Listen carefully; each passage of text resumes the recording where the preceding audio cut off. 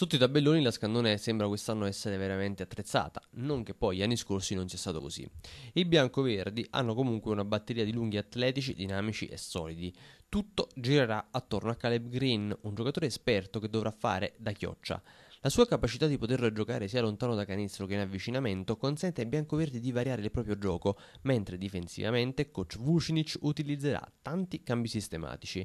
Il protettore dell'anello sarà Amadin Diaye, specialista del ruolo. Matt Costello, invece, garantirà dinamicità ed esuberanza, soprattutto energia.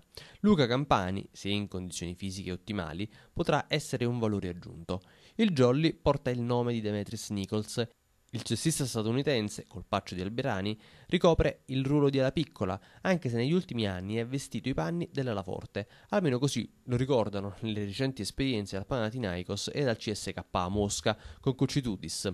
L'energia e la versatilità sarà il marchio di fabbrica del nuovo reparto di Casa Sitigas. È molto importante, sarà in questo sistema Demetris Nichols che con la possibilità di giocare anche da numero 4 permetterà a Vucinic di abbassare il quintetto e adeguarsi quindi a situazioni complicate come è avvenuto lo scorso anno contro determinate formazioni.